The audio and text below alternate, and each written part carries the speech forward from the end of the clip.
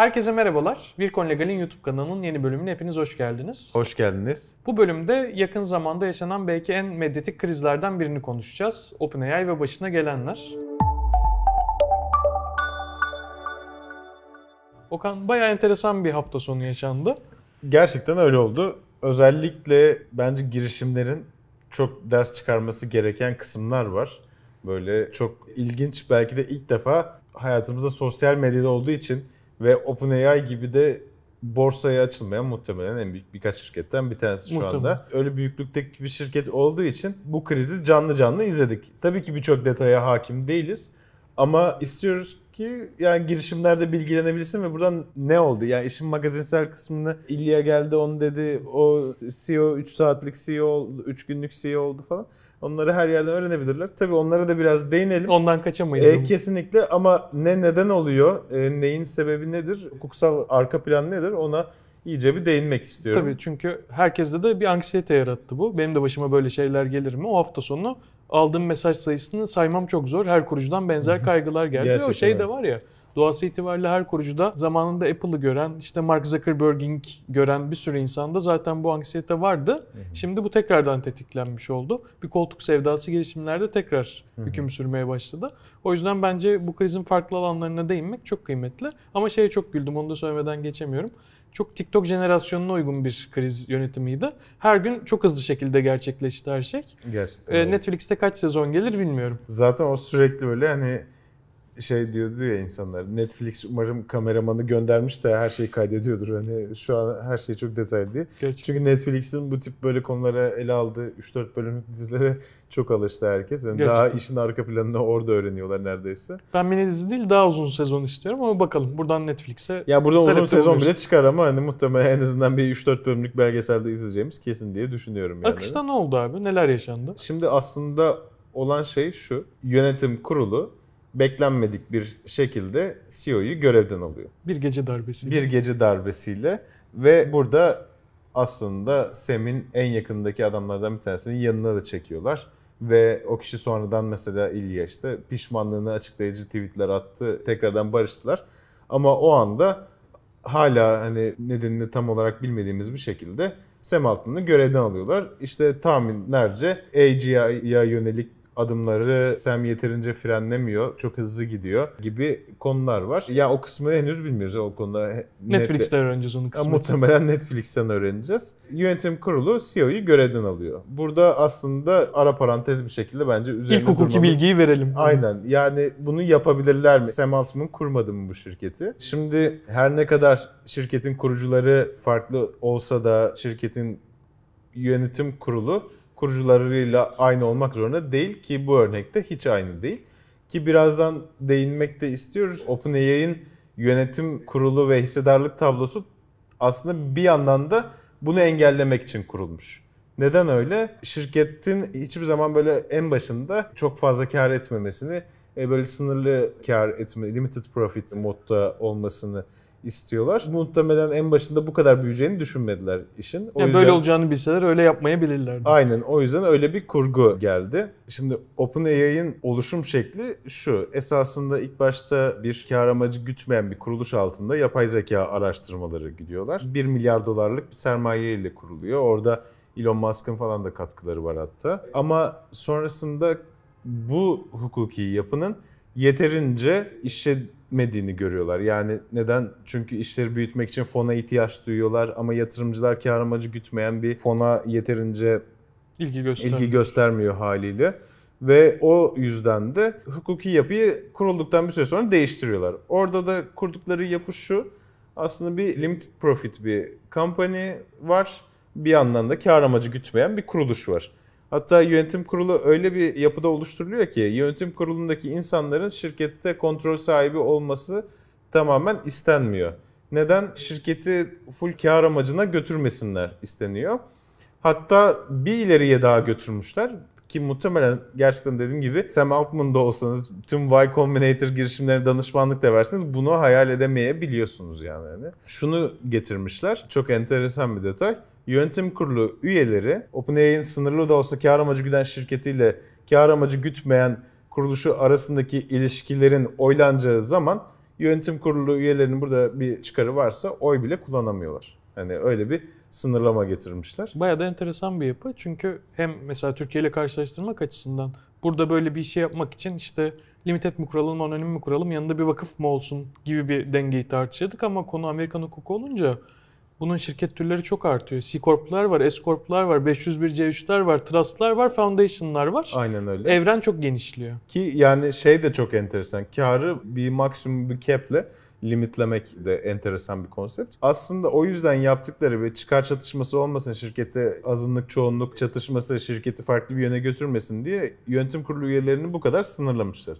Ama gün sonunda o anda yönetim kurulu bu şirketin CEO'suna karar verecek temel mekanizma. Ve o da yani şirketin sözcüsü kim olabilir, CEO'su kim olabilir vesaire bunların hepsine yönetim kurulu karar veriyor. Ve yönetim kurulu da böyle bir gece darbesiyle şirkete bile gelmeden her şeyini iptal ederek direkt bir Google Meet ile Sam Altman'ı görevden alıyor. Yani ve Sam Altman buna mesela normalde şunu yapabilir. Şirkette çoğunluksa yani şirketleri çoğunluksa ya işte genel kurula gidip o yönetim kurulunu görevden alıp bir şekilde yine gelebilir. Aynen öyle. Ve az önce dediğimiz, bahsettiğimiz limitli karla sınırlanan şirket, ya bu arada izleyiciler kusura bakmasın çünkü birçok terimin Türkçe karşılığı yok. O yüzden bazen böyle çevirmekte zorlanabiliyoruz. Bu limitli karlı olan şirkette buradaki kar da bu arada 1'e 100.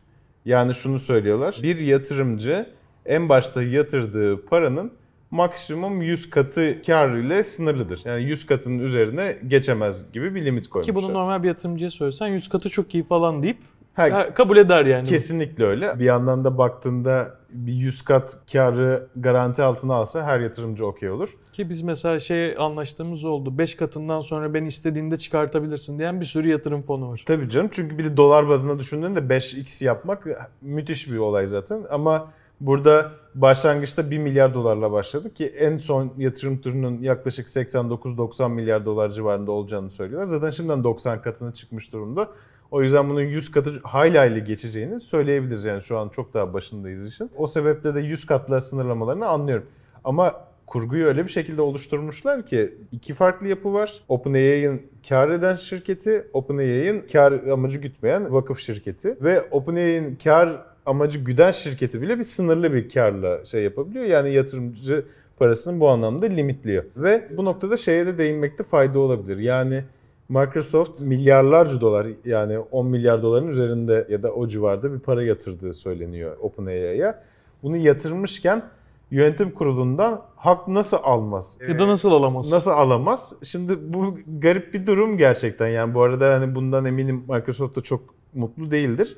Ama şu söyleniyor. Microsoft'un yönetim kurulu hakkı almaması karşılığında ki bunun yapmama sebebi en başında anlattığımız o kar amacı gütmeme mevzusu. Çünkü dediğim gibi yönetim kurulu üyeleri bile bu dengeyi bozacak bir yapıdaysa oy kullanamama kısıtları var yani. Microsoft'un alınmamasının sebebi de Microsoft'un tam olarak OpenAI'nin kar etmesini istemesi. Hocam çıkar çatışmasının göbeğinde Aynen. kim, yani kim var dersen o da Microsoft. Zaten hali hazırdaki o kısıtlamalar sebebiyle alsalar bile oy kullanamayacaktı bu durumda. Öyle bir şey var. Şimdi orada da nasıl dengeliyor bunu? Microsoft hem bu ürünlerin fikri mülkiyet haklarının neredeyse tamamına da kullanımına sahip. Söylenene göre kaynak kodların kopyalarına aynı zamanda Microsoft sahip ve bunları sınırsız bir şekilde kullanmaya da bu şekilde yönetim kurulunda olmamasını dengelediğini söylüyorlar ki Ticari olarak mantıklı gözüküyor bu arada. aynen öyle zaten o yüzden de bir anda okey gelin abi bizden devam edin dediler. Ya şimdi Yapı aynı şey gibi. Oradan anahtarı kapat, buradan tekrar başlat. Gerçekten yani belli bir süre sonra neredeyse ona başlayabilirdi. Burada girişimleri ilgilendiren aslında bir diğer konuda bence dolaylı olarak stock option. O da nedir? OpenAI'daki bütün çalışanlar yaklaşık 770 çalışanın 700'ünün bunu yaptığı söyleniyor. Diyorlar ki eğer Sam Microsoft'a geçiyorsa ve biz de Microsoft kabul ediyorsa ki Microsoft bunu teklif etti zaten. Biz de Sam'le beraber geçeceğiz bu şirketi. Ve bunu da kalple anlattılar. Evet, aynen öyle. Yani 770'in 700'ü geçiyor. Bu konuda yönetim kuruluna neredeyse bir manifesto verdiler. Burada aslında neden bu insanlar Sem'i bu kadar seviyor? 770 kişide bu yapıyı kurgulamak çok zor ve OpenAI gibi bir şirkette ve bu insanların bazılarının Amerika'ya H1B ile falan geldiği, yani vizelerinin çalışma izinlerinin OpenAI'ye bağlı olduğu söyleniyor. Dolayısıyla bu iç ilişkisi kesildiği noktada aslında Amerika'nın da dışına çıkması gerektiği Gerekli- sonucu da doğuruyor. Kesinlikle Dolayısıyla böyle bir risk alıyorlar bir yandan. Ki yine de şunu söylemek lazım. Microsoft göçmen çalıştırma konusunda Satya Nadella'nın kendisi de bu tip vizelerle Amerika'ya gelip Microsoft'a giren süreci başlattığı için olduğundan ötürü göçmenlere en sıcak davranan CEO'lardan bir tanesi olduğu hatta Microsoft'un içinde buna yönelik hizmet veren bir departman olduğu dahi söyleniyor. Her neyse şimdi şu var. Diyorlar ki OpenAI'nin bütün bu çalışanların en başta kuruluş ekibinin belli bir miktar maaşları var. Ama maaşlarının da yanı sıra bir stock option'ları var. Ve bu stock option'ların bu yatırım turunda realize edileceği söyleniyor. Yani ne demek? O stock option'ları bu yatırım turundaki belli bir miktarını içerideki çalışanlar satabilecek. Bu da şu demek. Hakikaten belki ayda 10 bin dolar, 15 bin dolar, 20 bin dolar 25 bin dolar, 30 bin dolar çok fark etmez. Ama hani alan bir insanın bir anda bu stock optionlar sebebiyle bir de 90 milyar dolar değerlemeden bunları satacağı için birden oradaki hissenin 90 katına milyonlarca dolar almasına tekabül bir şey. Ve bu tamamen OpenAI'nin yatırımının değerlenmesine, OpenAI'nin şirket değerine bağlı. Ve şirkette kalmalarına da bağlı. Şirket- Dolayısıyla böyle aynen. bir şey de yakma riskiyle Aynen karşı öyle karşıya. ama bir yandan da sistemi geri istemelerinin sebebi de o gelsin ki şirketin değeri düşmesin. Çünkü bu sefer de çalışanların hisselerinin hiçbir anlamı kalmayacak. Belki birkaç yıllık emek boşa gidecek gibi Ki bir şey de çok garip yani. Bir startupta artık onu startup mı dersin geldiği noktada bilmiyorum ama 770 kişinin 700'ünü enfluence etmek de çok ciddi bir konu. Normalde tanımazsın çünkü bir Kesinlikle yerden öyle. sonra. Ya Mercury'nin CEO'su Immad işte o mesela Twitter'dan paylaştı. Dedi ki ilk işim Slack grubundan şey sormak oldu yani. yani ben şirketten ayrılırsam benim için de aynısını yapar mısınız diye ekibe Çok wishful olmuş sanmıyorum. gerçekten. Şimdi o anlamda da gerçekten enteresan bir konusu var. Çünkü stock option'lara sahip çıkılması gibi. Yani öyle bir case yaşattı ki bize bir anlamda business anlamında alınması gereken çok ders var gerçekten. Bir yandan magazinsel kısmının çok değerli. İşte o gitti bu gitti Twitter'dan sürekli açıklama yapıyorlar. Bir yandan hepsi Microsoft'ta devam edecek oluyorlar. Satya Nadella öyle bir açıklama yapıyor. Bir yandan OpenAI'ye dönmesini istiyorlar çünkü mevcut statükonun korunması herkes için en faydalısı. Bir yandan Microsoft acaba devrim alacak şirket neredeyse 0 dolara falan derken Bu peki Succession mıdır Game of Thrones mudur Okan Bey? Abi enteresan bir soru kesinlikle. Belli bir ölçüde Succession'a daha yakınsadığını söyleyebiliriz. Ama ben şöyle bir analoji yapacağım. Ben Spoiler alert altta hemen bir uyarı çıkarın. Son sezonda lekesizlerle gidip Kasterli Kayası'nı almışlardı. Ve onu aldıklarında Targaryenler, Daenerys içeriye girdiler ve bomboş bir kale. Alın kale sizin olsun demişler. Hani biz burada değiliz. O sırada işte Highgarden'la Dorne'u almaya gitmişler aslında Kasterli'nin askerleri. Spoiler burada bitiyor. Bunu da tam ona benzetebiliriz. İşte tamam okey al yönetim kurulunda biz güçlüyüz, kar amacı gütmeyen şirketimiz var, onu sürdürmemiz lazım falan gibi yapılar var. Aslında bir nevi hareketiyle de Kasarlı Kayası'nın Targaryenlere verilmesi gibi alın abi size boş bir şirket isterseniz onu sürdürebilirsiniz dediler. Ki şey çok kritik. Normalde böyle bir durumda OpenAI'den çıktıktan sonra o ekibin ekmek yiyememesi gerekir. Çünkü yani bütün kaynak kodları bir şirkette bırakmış durumda. Muhtemelen rekabet anlaşmaları da var. Arkasında bir sürü şey var. Hı hı. Ama Microsoft'un bu stratejik davranması sebebiyle plug and play devam edebilecekleri bir konumla devam ediyor. Gerçekten Kesinlikle yarın sabah OpenAI'nin aynısına sahipler ve daha geliştirme imkanları var. Muhtemelen de daha Aynen ileriye öyle. götürecekler. Yani fikri mülkiyeti sınırsız sahipler. Zaten bu olmasa bu şekilde geçseler bile ne olacak ki? Yani sıfırdan bir bu şekilde bir teknoloji geliştirmek illa çok uzun bir süre alacak. Aynen E, ve o sırada da rakipler sürekli güncel elemler duyurmaya devam ediyorlar. Ve bu sefer patent konuları, fikri mülkiyet çatışmaları daha da büyüyecek. İyice karmaşık öyle. bir yere gidecekti. E, Ve işte bir yandan da şeyi de görmüş olduk. Yönetim kurulunu oluşturmanın değeri, yönetim kurulunun bir günde CEO'yu alabileceği, genel kuruldaki bu hakikaten hisselerin, imtiyazlı hisselerin payı, onların ifade ettiği oy kullanma hakları.